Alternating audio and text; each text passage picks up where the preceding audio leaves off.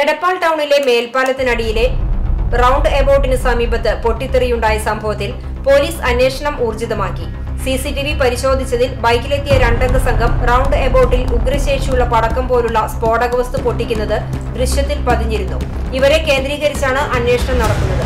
Tanur DYSP Musa വെള്ളിക്കാരന്റെ നേതൃത്വത്തിലുള്ള police സംഘം സംഭവസ്ഥലം സന്ദർശിച്ച് പരിശോധനയ്ക്കായി കൂടുതൽ വിശദാംശങ്ങൾ ശേഖരിച്ചു.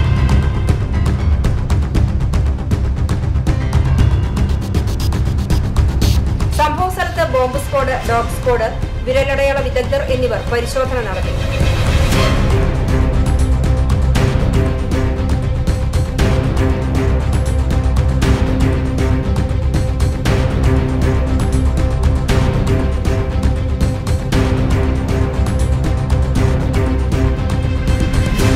പട്ടാമ്പി റോഡിൽ നിന്ന് ഞാൻ അങ്ങനെ വരുന്ന വഴിക്കാണ് ഇവിടെ ഒരു പടക്കത്തിന്റെ ഗുണ്ട് പൊട്ടിക്കണ പോലത്തെ സൗണ്ടാണ് കേട്ടത്. തൊട്ട് മുമ്പേ ഒരു ബസ്സാണ് പോയത്. അതിന് പക്ഷേ ആ ബസ്സിന്റെ ഉള്ളിൽ ആൾക്കാരൊന്നും ഉണ്ടായിരുന്നില്ല. പിന്നെ കണ്ടത് ആകെ ഒരു പുകയാണ്. എടപ്പാൾ ടൗണിൽ ഇപ്പോൾ കണ്ടത്. ചൊവ്വാഴ്ച രാത്രി ഏഴ് പതിനഞ്ചോടെയാണ് മേൽപ്പാലത്തിനടിയിലെ റൗണ്ട് എബോട്ടിൽ നിന്നും ഉഗ്ര ശബ്ദത്തോടെയുള്ള പൊട്ടിത്തെറിയുണ്ടായത്